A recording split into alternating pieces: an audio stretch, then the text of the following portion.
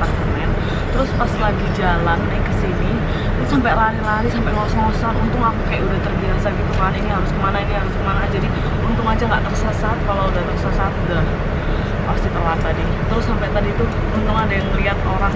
Jadi ada tadi tuh tugasnya ngeliat aku tuh bawa bawa tiket gitu. Terus aku kayak nanya ini di mana ini di mana gitu kayak panik banget kan ini kayak takut mau telat soalnya ini baru pertama kali ke TBS terus nggak tahu kan readingnya di mana. Untung ada orang tuh yang kayak ngeliat dari jauh terus dia langsung nunjuk gitu. Kayak ngasih isyarat gitu kan dari jauh kan. Terus aku udah dapet ini dia tiketnya. Jadi aku beli tiket ini tuh online di Redbus terus redeemnya ternyata tuh gampang banget. Kalian cuma perlu ngeprint bukti beli kalian terus nanti kalian ke boarding counternya gitu. Terus langsung deh ditukerin tiket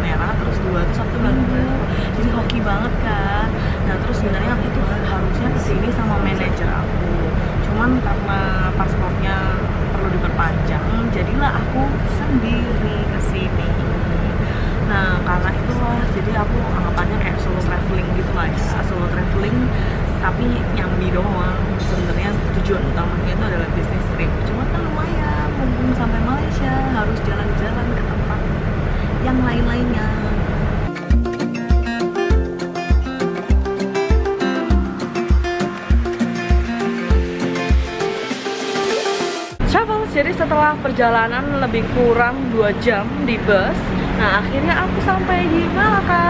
Ini tuh baru sampai di terminal busnya yaitu Malaka Central. Terus aku lagi mau mencari taksi buat ke Malak tempat wisata-wisata gitu di Malaka. Nah aku sih pertama sih mau lunch dulu ya di daerah Jonker Street gitu. Nah Jonker Street itu adalah tempat eh, makan-makan gitu sama street food yang terkenal di Malaka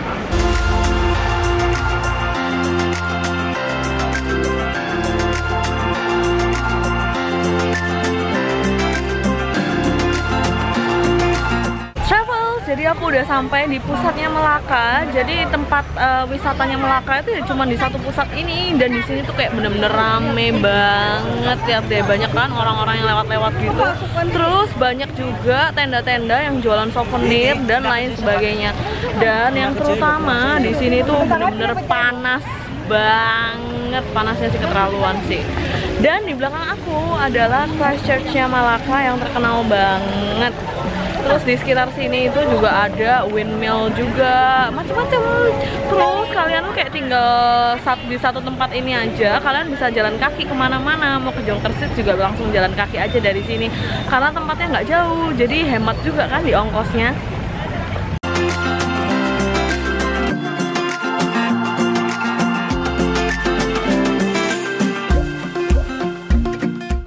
ini kayak udaranya tuh bener-bener panas banget. Terus es krim to the rescue. Jadi kalau kalian ke sini hmm, itu ada yang jualan es krim kayak opa-opa gitu. Dan harganya satu kon gini tuh cuman dua ringgit doang. Rasanya sih biasa aja ya. Cuma lumayan lah penyegar gitu di saat matahari yang terik ini menyinari dunia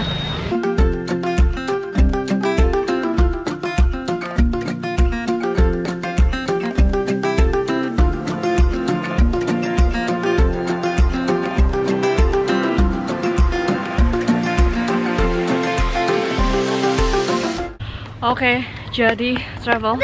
Kalau misalnya kalian mau ke Saint Paul's Church, itu ternyata jalanannya mendaki sangat tinggi. Gila. Itu tadi tuh trailnya. Terus ini kayak masih panjang. Panjang sampai atas situ gila. Gila sih. Aduh, ngos-ngosan banget. Gue matiin dulu dah ininya.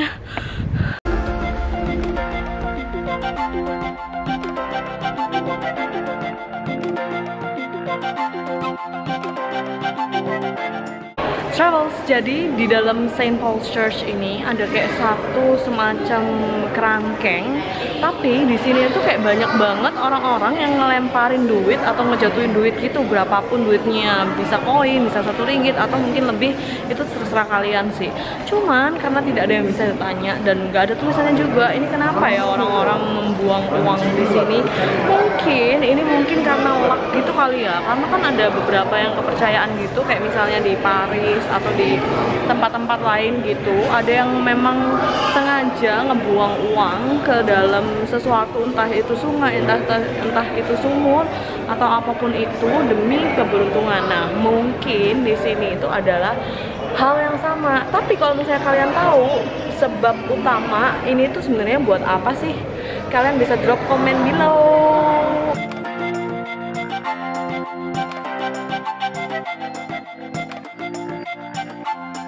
jadi Malaka itu benar-benar kecil banget. Kalian cukup satu hari aja itu cukup banget di sini. Kayak aku tuh tadi jalan-jalan kayak ke Jonker Street terus ke Christchurch Saint Paul sampai ini ke Fort Santiago itu kurang lebih kayak cuma dua jam gitu kelar semua. Jadi kayak take your time sih ini benar-benar kecil banget dan kalian nggak akan tersesat kok. Karena jalanannya itu benar-benar jelas petunjuknya ada. Dan aku baru aja sampai di Fort Santiago aduh lagi agak mager banget. Ini lagi ngadem lagi di bawah pohon. Gila cuacanya itu bener-bener ya parah banget. Panas super panas kalau misalnya ada di depan aku kayak ada kolam gitu mungkin aku mau kali ya langsung nyebur ke kolamnya ya. Asal kolamnya dingin. Kalau kayak gini mah airnya juga bisa-bisa anget juga loh. Gila panasnya nih. Nggak tahu nih berapa derajat cuman ini panas banget. Melebihi panasnya Jakarta. Gila.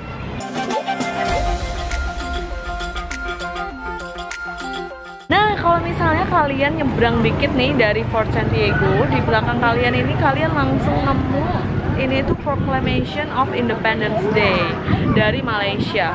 Gedungnya keren banget, kayak bener-bener bersahaja gitu, bener-bener keren. Terus kalian bisa foto-foto juga nih di sini. Ini salah satu spot fotonya juga di Malaka.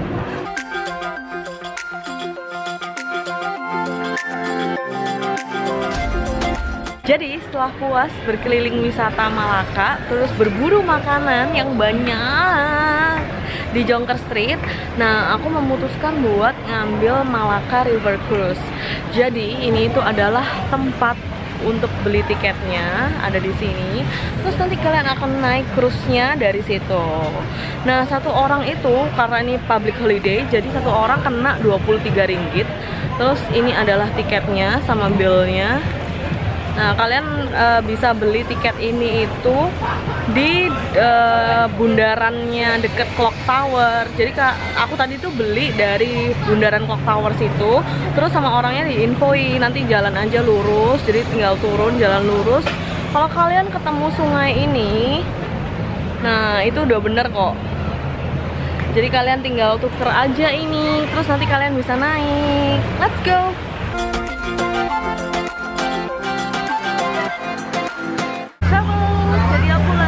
Menikmati cruise-nya. Jadi Malaka River Cruise ini akan berlangsung selama 40 menit dan dia tuh akan keliling di sepanjang Malaka. Terus di samping-samping aku ini banyak banget bangunan yang vintage-vintage. Terus ini lagi papasan sama Malaka River Cruise lainnya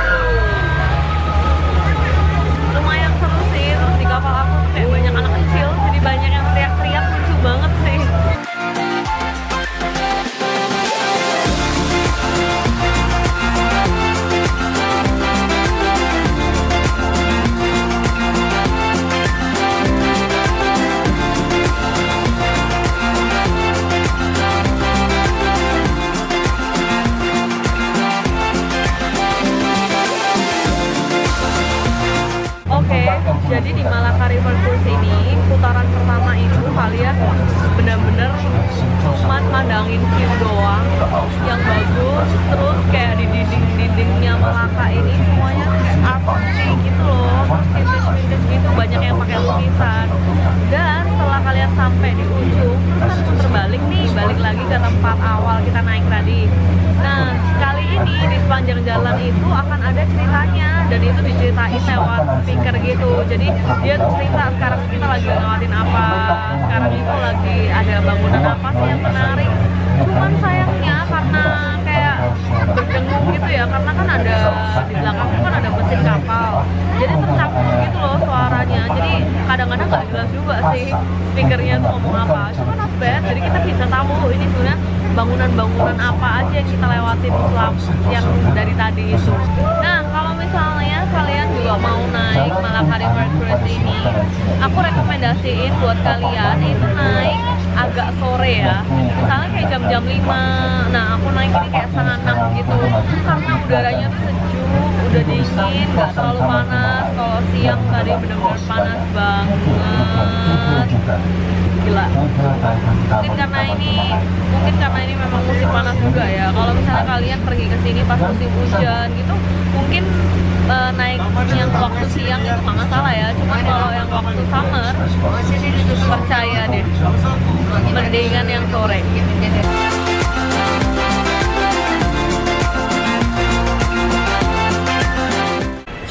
jadi aku udah ada lagi di Malaka Central. Itu aku mau naik bus pulang ke KL tapi sebenarnya bus aku tuh jam setengah sembilan malam. Dan ini tuh kayak masih jam tujuh setengah delapan gitu lah ya. Emang kecepatan sih tahu. Cuman kayak bingung gitu loh mau ke mana lagi di Malaka karena ternyata Malaka itu kecil banget. Kecil ini dalam arti tempat wisatanya itu berpusat di satu titik aja. Jadi setelah kalian selesai berkeliling di satu titik tersebut itu ya udah selesai. Jadi sebenarnya kalian nggak butuh waktu banyak sih buat di Malaka. Justru malah kalau misalnya kalian hunting kuliner nah itu dia yang butuh waktu lama karena kulinernya tuh bener-bener banyak banget di sepanjang Jomter Street. Itu semuanya kuliner. Apalagi kalau misalnya kalian rempong nih agak rempong kayak aku ya harus foto dulu lah video dulu lah. Nah itu mungkin kalian perlu waktu yang lama kayak aku. Aku kan dari jam berapa tadi ya? Jam 11 sampai sini. Itu jam 7 udah kelar semua bahkan udah sampai terminal bus. Gitu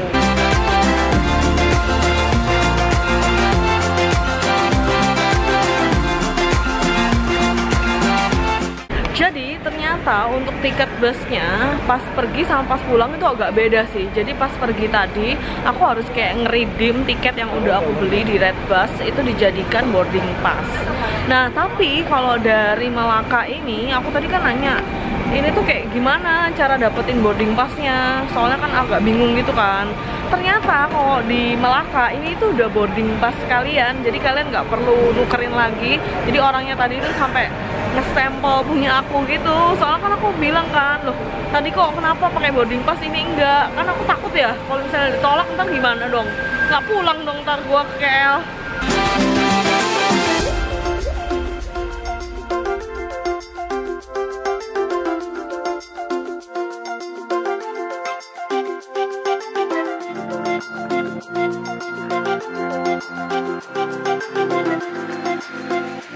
Malaka benar-benar seru banget terutama kulinernya.